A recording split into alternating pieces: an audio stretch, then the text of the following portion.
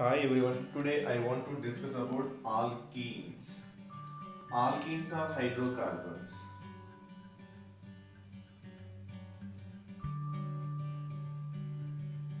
Hydrocarbons meaning the compound which having the carbon and hydrogen.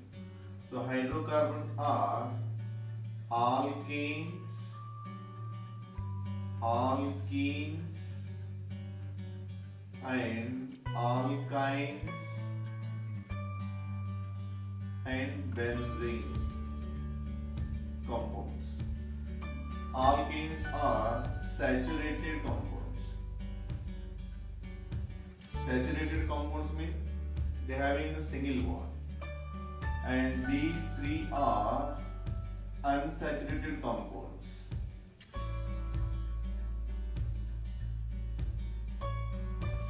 Benzene is a cyclic special type compound.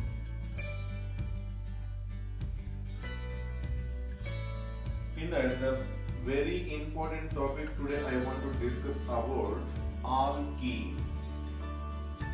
Alkenes are also known as olefins.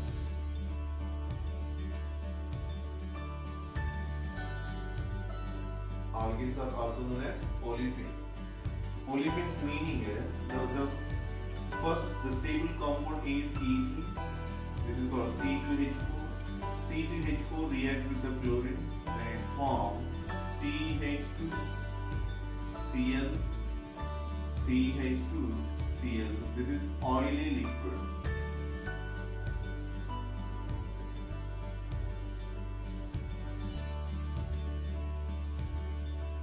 Therefore, alkenes are known not only this one, these alkenes are react with the, the like this halogen and they form the mm, oil type compound. Therefore, these are known as the olefins. Now, consider its structure or bonding. Bonding or structure of alkenes. We know very well one for example that is ethene. CH2 double bond CH2. This carbon undergo sp2 hybridization. This carbon also sp2 hybridization. Each carbon is sp2 hybridization because the double bonded carbon having the sp2 hybridization. Otherwise, according to VSEPR theory, around the carbon, how many groups are there? This is one group, second group, third group. Three groups are present in that is the sp2 hybridization. sp2 hybridization meaning it and the shape of the molecule is trigonal planar. Each carbon having the sp2 hybridization and tri trigonal planar structure. Now, keep in mind the clear structure of this ethene or this alkene. This carbon undergo sp2 hybridization one s orbital spherical shape and two p orbital they are dumbbell shape undergo hybridization. Then it form um, three sp2 hybrid orbitals hybrid orbital shapes are like this. One is uh, bigger size lobe another is smaller size lobe these will undergo in such a uh, arrangement and it gives a trigonal planar structure. This is 2, this is 3. This is sp2 hybrid orbital, sp2 hybrid orbital, sp2 hybrid orbital. Then if you look this shape, it appear like the trigonal planar structure. Now consider this carbon. First carbon having the sp2 hybrid orbital, sp2 hybrid orbital, sp2 hybrid orbital. This is the first carbon.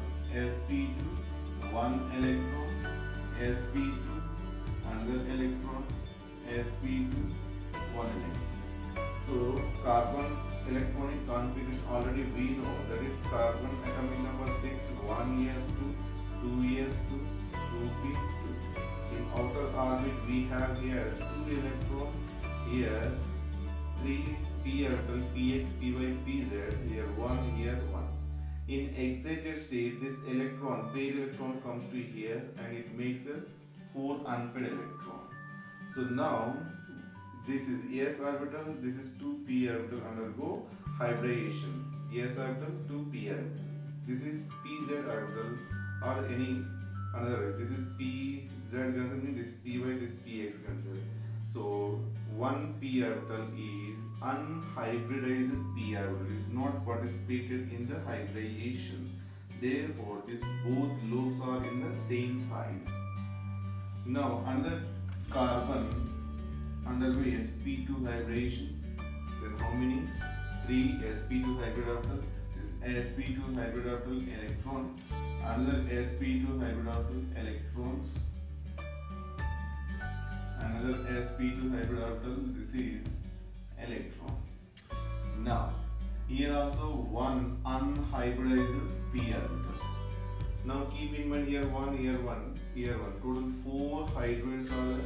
This is hydrogen atomic orbital s orbital hydrogen is electron. This is s orbital electron hydrogen. This is electron s orbital hydrogen. This is electron s orbital hydrogen. Now these are unhybridized p orbital sideways and overlapping. Then this is sigma bond. This is pi bond. Pi bond formed by the p orbital. Then this is called, or it may be represented like this: p pi, p pi bond. Pi bond formed by the p orbital. Up and down, it means perpendicular to this internuclear axis. Both combined to form one bond only. This sideways overlapping, this sideways overlapping, one pi bond. This sigma bond. Sigma bond, which sigma this is? sp2, sp2 sigma bond. This is also sigma bond. End-to-end overlapping sigma 1 form. This sigma 1 is sigma sp2s. Like this, how many sigma sp2s bonds are there? Total four are there. And total how many sigma 1? Sigma bonds are five. One, two, three, four, five. How many pi 1? Pi 1 is one. Clear? This is about the structure. Now this can be simply represented like this also. Carbon, one is sigma bond, this is, this is pi bond, this is, and this is another sigma bond with the sigma sp2s, sigma sp2s, sigma sp2s. Sigma bond is stronger bond than the pi bond. Its bond energy, sigma bond bond energy is 397 pi bond energy is nearly 284 this is pi bond energy this is sigma bond energy and keep in mind this total double bond add sigma and pi bond then here you will get a 681 okay? Now this is a total double bond energy. Double bond bond energy. Bond energy of double bond. You have to remember because in alkane carbon carbon single bond energy is nearly 348 kilojoule per mole. Here also these are kilojoule per mole. This is also kilojoule per mole. Then here also kilojoule per mole. Here now when sp2 hybridization is this bond angle nearly bond angle is nearly 120 degree but here not 120 this angle is nearly 121.7 degree.